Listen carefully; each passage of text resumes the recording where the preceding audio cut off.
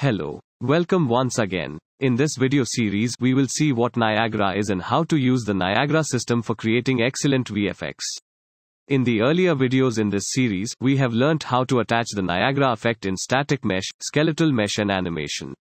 In this video, you will see how to attach trail Niagara effect. How to do ribbon tracing onto the various mesh and animated mesh. So how we can get particles to follow different parts of the body, and create this really lovely ribbon effect. Please like this video if you find it helpful and informative, and subscribe to our channel for newer updates and game development tutorials. So let's start. Create a Niagara system, a simple sprite will do. Name it fx underscore trail. Now open that. And the first thing you should do is to scroll all the way down and look for the sprite renderer. We are going to get rid of that. And we actually have a built-in ribbon renderer. So we are going to bring that in. For material, we are looking for the default ribbon material. If you don't see that, just make sure you have everything checked off in your view options. We are going to bring that in. And then we just need to update our system so we are going to get rid of these emitter modules which are not necessary. We need specifically ribbon initialized spawning rate. And we should bring in all these. And so we no longer need initialize particle. So in emitter update, we no longer want the spawn burst instantaneous. For ribbon tracing we are going to want spawn rate and do say 200.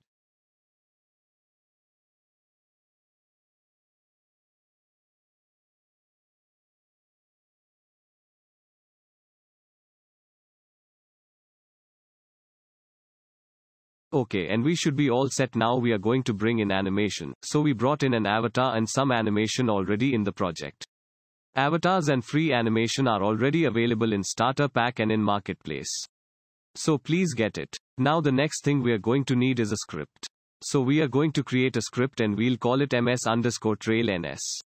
So the first thing that we are going to need of course is our skeletal mesh. We are going to be using this script to set the skeletal mesh. And then we are going to get the skinned bone data in the world system. And then of course we'll set the position to the particle position. And then we are going to need a bone, which is an integer.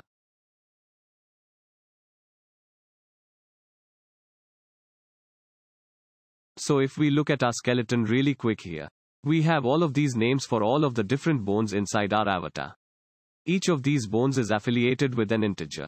We are going to use a blueprint to convert name to integer, but from this point of view, we need that integer. So we are going to create an integer variable, we'll call it bone and later inside a blueprint, we will set this integer variable, via one of the names of the bone.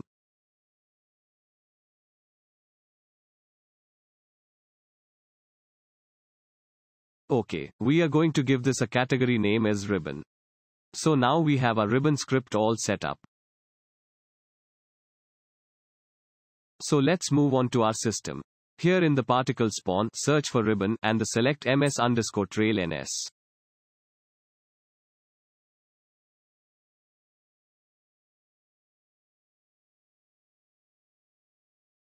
Here you can see some error. This is due to fact that no mesh has been assigned. To fix that select a skeletal mesh from your library which is a prerequisite. Here we need user exposed. Click on the plus sign besides the user exposed. And search skeletal and select skeletal mesh. Now after selecting the ms underscore trail, now select the user skeletal mesh and drag the user exposed skeletal mesh onto the skeletal mesh in the detail panel, which will appear as green. Now repeat the same for the bone as integer. Click on the plus sign besides the user exposed. And search integer and select integer. Name it bone. Now select and drag the user exposed bone onto the bone in the detail panel, which will appear as green.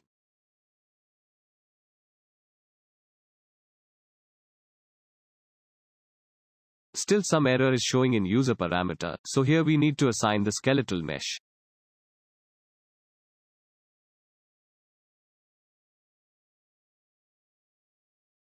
Now drag the new particle system onto the level. And the skeletal mesh in the detail panel override parameter section after selecting the system. So we already have that skeletal mesh variable. So let's set it, and now we need a variable for the bone, which is as we might remember as an integer. So what we need to do is to get an integer for the bone, based off of one of the bones in the avatar. And to do that we are going to use a blueprint. So we are going to make a new blueprint. Call it BP underscore trail NS. Now open the blueprint. Now click on add component. And we are going to bring in a skeletal mesh. Also we need a Niagara system.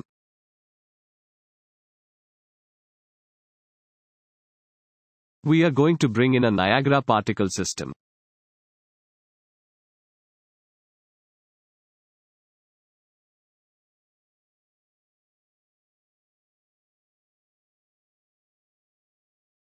Notice that the indentation, that this is a child of a skeletal mesh, that's important. Let's go ahead and set up our skeletal mesh.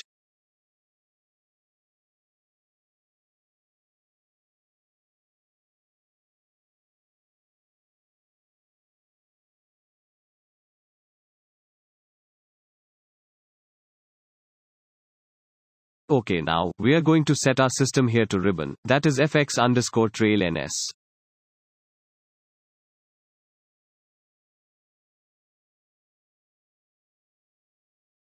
Also we are going to be using an animation asset, so select the use animation asset in detail panel and assign the animation. Which we have already imported into the project and there we go. Compile it and save it. And then bring in that blueprint on the level and play.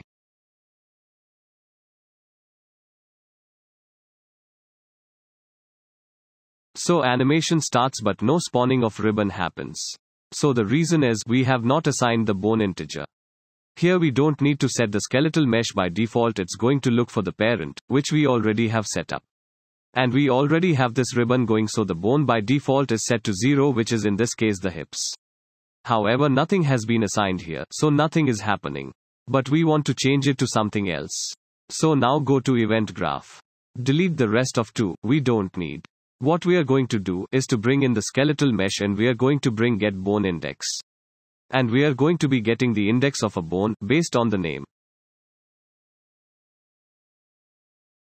And then we are going to bring in the particle system.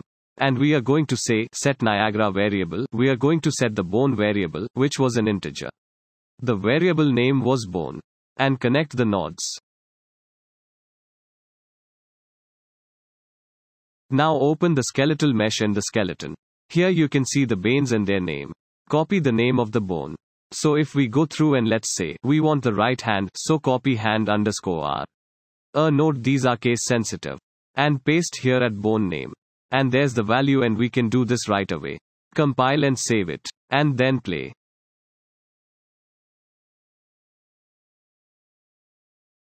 Great. So now we are going to have that trail coming off of the right hand.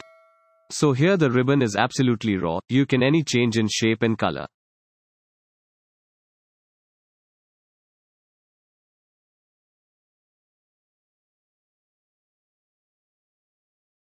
Now let's say you wanted to do like both hands.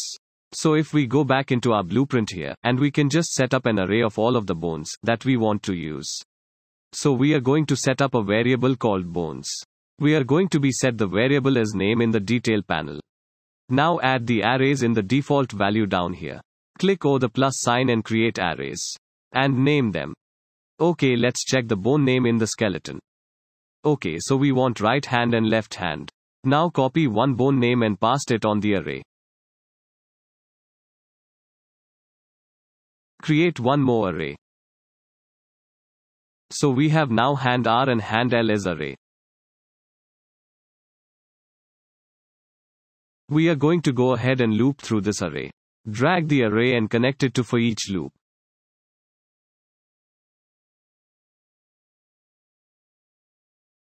And connect the array elements to bone in the get bone index node.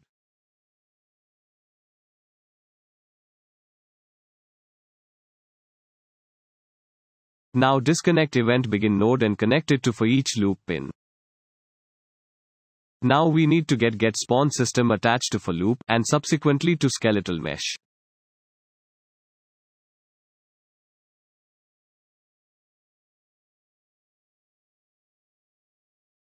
Assign the Niagara system in the system attached node. and loop in the return value to target. We are going to need to spawn a new Niagara system for each of these bones. We are going to delete this actually, as we are going to spawn through the system attached.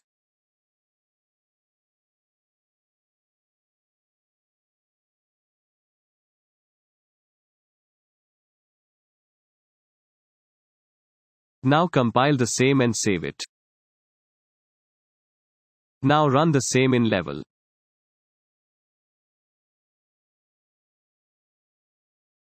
Congratulations, here we are. You have created a ribbon trail coming out from both the hand of a skeletal mesh. So from both the allotted bones the emitters are spawning. Likewise you can allot any other bone in the skeletal mesh. Okay this seems absolutely raw ribbon. You can add some colors and other effects into it. We just did alterations in color and curl noise and the result is here. Hope this video helps you to initiate your journey into the creative world of Niagara.